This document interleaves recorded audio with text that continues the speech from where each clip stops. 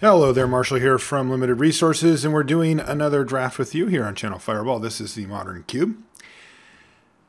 And we've opened up a couple of reasonable cards here. An Acidic Slime, one of my old buddies. Uh, there's also Sphinx's Revelation, which is a card I haven't played yet in this cube, but I think it actually might be okay.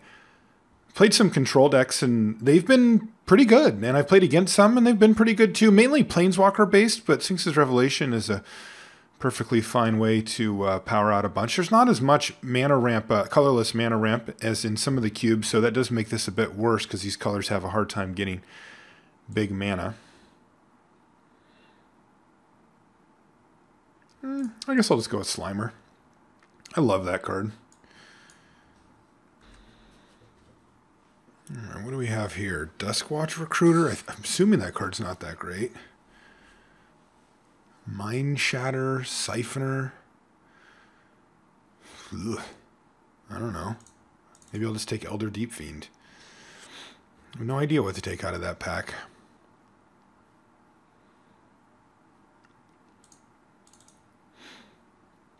Seems like a fine combo.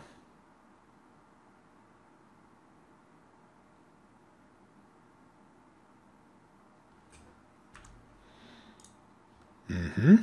Mm-hmm. All right. Well, these look pretty good. I, I, maybe we don't end up playing the acidic slime. We've got three really good blue cards here. Maybe this is a colorless card in some decks. Uh, we'll see. But uh, ooh.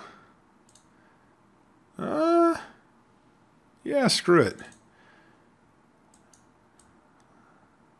That has some pretty magical rules text on it right there, and. Uh, I got to figure that that's better than Sphinx's Revelation in a lot of spots, so we'll try it. All right, what do we have here? A random sword of threads, careful consideration, a grapple. You know what? I, I have not tried Gifted Aetherborn in this cube yet, and I'm curious. Ooh. Ooh. Ooh, oh man, there's some good stuff here.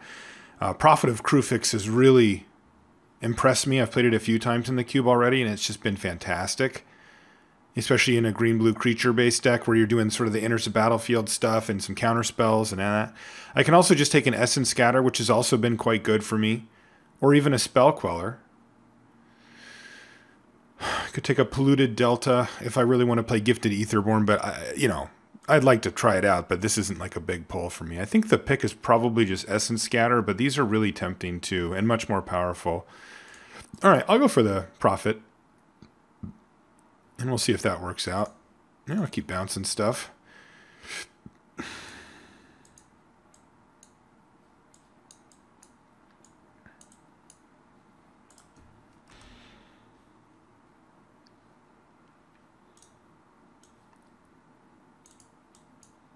We'll try it.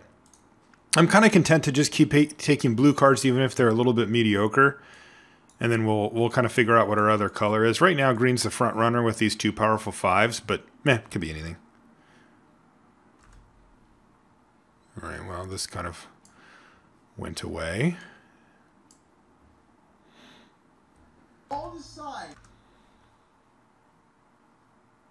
No, eh, maybe we'll try Oona.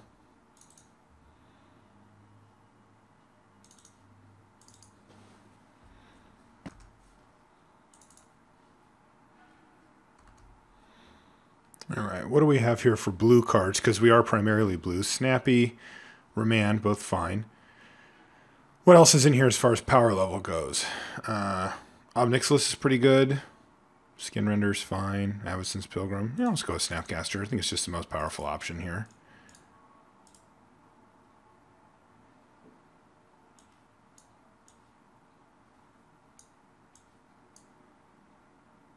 Ooh, Craterhoof Behemoth, huh? There's also Solemn, Dismember, Shelldock Isle. I like all of these. Hmm. Solemn seems good. Same with Dismember, Battlesphere. I like that, and I really like Shelldock Isle. Maybe I just take Shelldock. Yeah, I'll just do that. I like to try to pick up these utility lands, especially the really powerful ones like Shelldock Isle. Just because you usually end up with so many playables that uh, these lands end up making the cut in your deck and, and really giving you a big edge. Progenitor Mimic. What do you do again? You may have it enters battlefield as a copy, and at the beginning it makes a copy of itself. That's pretty cool, but not what I want to take. I either want to take this Enclave Cryptologist or this Gilded Lotus. The Gilded Lotus is much more powerful. Um, I think I'll just take it. It opens up some doors for us too, as far as what our second color may be. Again, currently still green, but who knows? I we still got a lot of packs to go. Got a lot of blue cards. Holy crap! There's one. I'd love to wheel this dissipator something, but uh, yeah, all right. I'm gonna. Well, I'll, I'll keep this in for now, just in case. But yeah, that's a that's a card there. I'm just going to select Tamiyo here, and I do think that's going to be my pick as well, yes. Tamiyo is very, very strong. It answers a lot of different things, and I'm a big fan of it. Um, I think I want to... I like Anticipate and cards like that, but man, I, I feel like I'm going to need some counter spells here just because, like, right now we don't have any, and I'm getting a little nervous about ways to interact, especially if we end up being mono or very, very heavy blue. Uh, sure.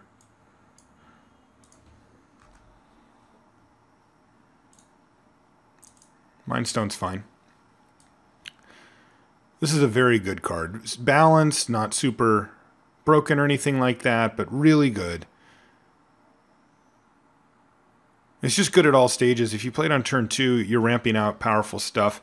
And once it loses its utility from a ramp perspective, you just cash it in for a card and it's cheap to do all of those things. So, love that card. All right, the Remand came back. I'm into that, especially after we took the Snapcaster out of that pack, and th- that's a pretty nice little one-two punch right there. Cheap counters plus Snapcaster can be really good. Okay, here's an interesting one. I can take Myr Battlesphere or Spell Pierce. I like Spell Pierce quite a bit. Let's just put these over here for now and see how our deck would look. It actually looks pretty good. I'm going to take Spell Pierce then. Um, Myr Battlesphere, yes, yes, yes, yes, yes, yes. That's fantastic. Myr Battlesphere is a pretty good um, finisher, and it also stabilizes the board. So I really, really like it as a colorless option. But we actually are doing pretty well up top. We're going to need like a couple more things, but eh, you know, cheap interactive counter spells are tough to to find. Okay, good. Now we're just wheeling everything. Man, is blue just wide open here? What is going on? Probably sideboard into fairy, but we'll see. This is just weird. We almost have an entire deck here after two packs in monocolor. That that is not normal. But it's sweet. Wow, even got the anticipate back. What the this is weird. It's cube draft. Everybody tries to draft blue and cube, I thought. that's my, been my experience after having cube drafted for whatever, five or six years now. But I'll take it. I like this. Look at this. We're not going to play him. But look at this. Last card, blue.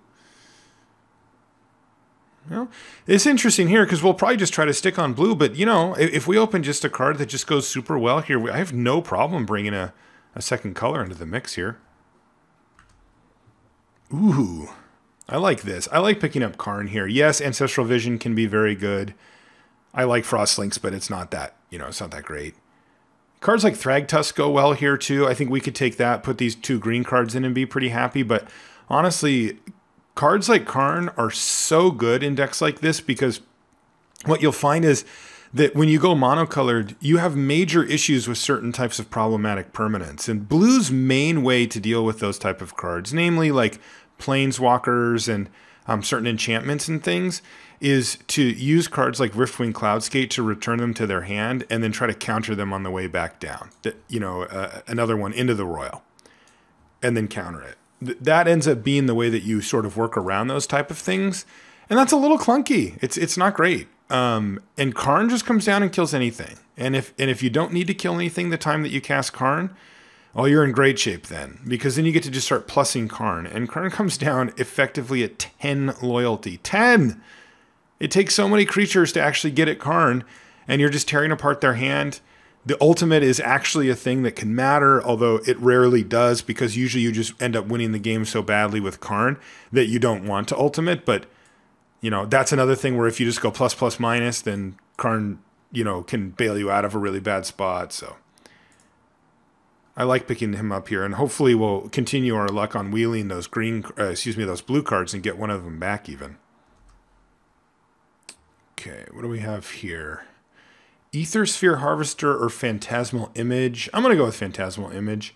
I think the Harvester is actually pretty good in this deck. We've got a decent number of creatures, and uh, this is the type of card that can kind of bail you out, get you a bunch of life gain, you know, kind of like a Batterskull, like a mini Batterskull, that type of thing. But I will say that in the cube, I do think it suffers a bit because uh, energy sources just aren't here. Um, so if you only get to activate it twice ever, basically, it makes it a lot less potent. Um, still, getting six life is, is non insignificant, but you know, uh, sometimes the game does go on further than that, and you really do need to be able to pump more energy in. And it's just there's just not that many sources of it in the cube. I, I don't even know if there's any others. So, well, I know there's a few, but uh, yeah, I, I, think it's better just to uh, take the phantasmal image, which is a card we can do some pretty great great things with with our deck already. Ta-da! Hello, friend. Welcome to the team. Oh, I've missed you so much. How about Phantasmal Image of Mulldrifter? Oh, yeah. All right, here's kind of a, a non-pack. I'm just going to take Compulsive Research because it's blue. And I, I don't know, we could probably use a card like this. It also gets you churning through your library pretty quickly for cards like Shelldock Isle. All right, looks like we've dried up a little bit here, and there's no blue cards in the pack. I'll just take a birds in case we want to end up going with green in any capacity. This also gives us the potential for a sideboard plan where we bring in a few green cards, you know, if acidic slime is particularly good or something. But, eh. Ooh, frosty. All right, so that kind of rounds out our finishers. Trophy Mage, uh, no target, so I'll take Jace. But I don't think we're going to start Jace. I think we're going to not start Oona, Queen of the Fae either. I like Frost Titan much, much, much better. Same thing with Consecrated Sphinx. We may not play this Elder Deep Fiend at this point. It looks like a fine card, but maybe nothing super amazing. And we'll cut some of the mediocre stuff. I'll probably cut threads just because main decking threads, why? Like if, if we get good targets, I'll just bring it in. There's sometimes you play against a control deck that literally never gives you a target for this, and that's just embarrassing. All right, so all three of the cards came back, obviously, because that's how we're rolling today. And I'm going to take a Rune Snag. I don't think this card's particularly good. It's it's just mana leak, but only for two. But eh, it's a cheap interactive counterspell, and we have Snapcaster Mage. It's that's pretty good. Man, I can't believe we're actually going to get to play mono blue. This is great, I think. Well, let's just say this. I like it. uh, I like it a lot.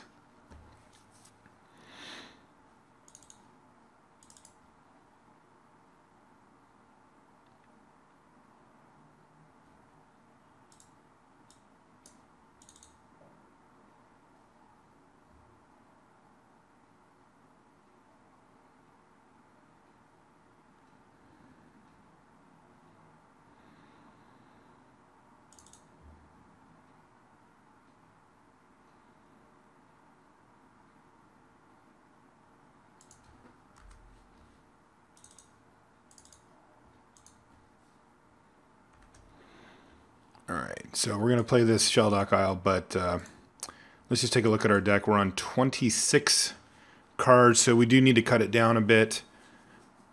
Um, I think we could kill one of these four drops. It's probably Whirler Rogue, though this is a card I actually think is a little underrated. I think it's really good. I'm going to cut it like that. We're bringing Dungeon Geist if we see some nice big targets for it. I actually think Whirler Rogue's actually pretty cool. It just stabilizes the board. I generally think Dungeon Geist is a better card. I don't know.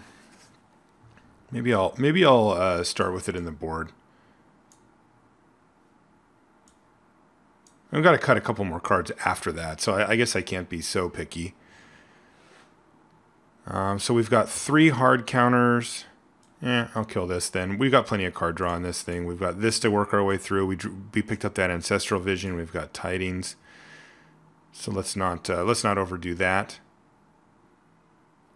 We've also got Mulldrifter. Let's not forget that. never forget the Mulldrifter. I think the Gilded Lotus is going to do good work for us. One thing that I really like about it is that we can play it and have any of our three counters available in the same turn, which is pretty important. Oh, and we've also got more card draw. So yeah, we really don't need that. One card I could consider cutting is Into the Roil. I also could cut Remand, but I don't really want to. I could cut Spell Pierce, which has varying levels. I'll cut it. I'll, I'll start off with Spell Pierce in the board. All right, this part's easy.